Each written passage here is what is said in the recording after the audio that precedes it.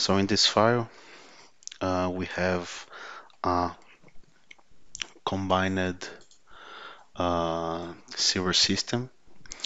We have some catchments modeled in this file using the the unit hydrograph method, especially using the Soil Conservation Services unit hydrograph. Uh, there is a storm modeled in this file.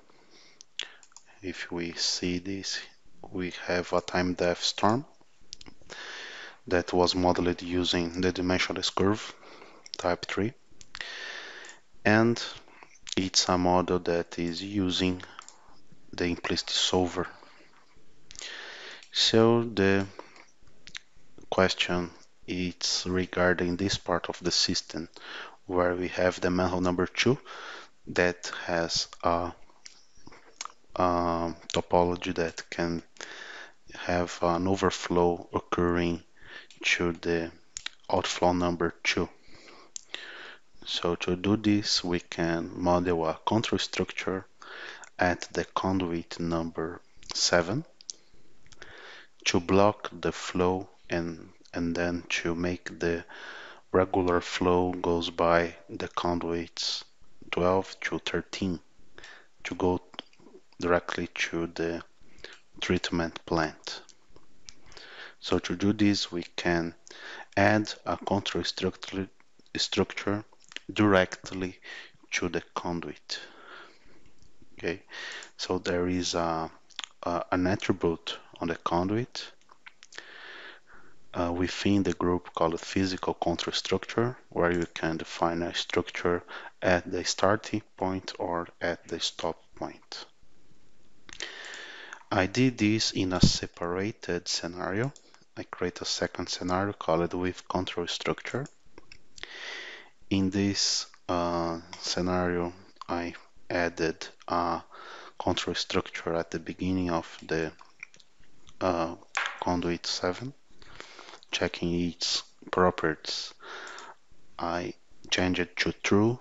The attribute has con has start control structure. After changing to true automatically you will have the attribute start control structure. In this uh, uh, this is uh, an attribute that is connected to a library.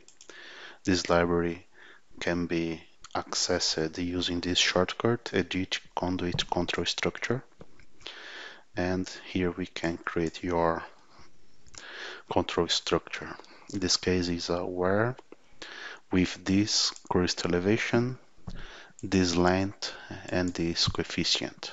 This coefficient is related to the Belanger equation okay that will calculate the flow that goes by the structure crest. Uh, besides of weir you can define a orifice or define uh, the flow curve.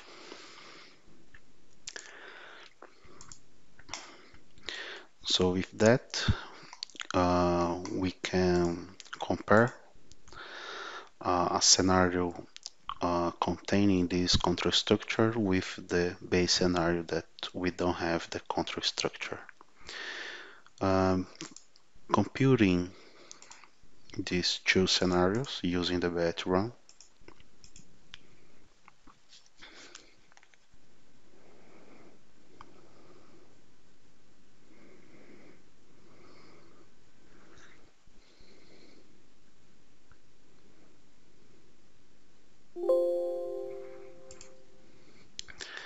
can understand what happens in this uh, in this part of the system.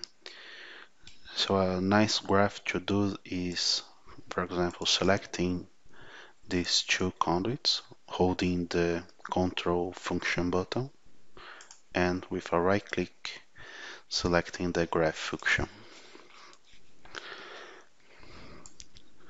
So with this we can add the base scenario and compare what happens with these two elements in these two scenarios. And I will keep the flow result as default and we can see that for the control structure we have uh, a different flow passing from the conduit number uh, 7. The conduit number 7 has uh, less flow with the control structure of course because it is it's uh, making the conduit number 13 having more flow. This is the line uh, in green.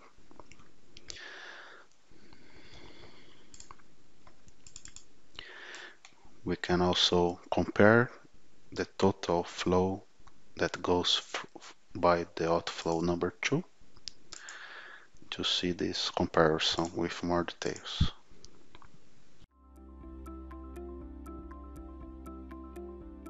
If you found this video helpful, please give it a like.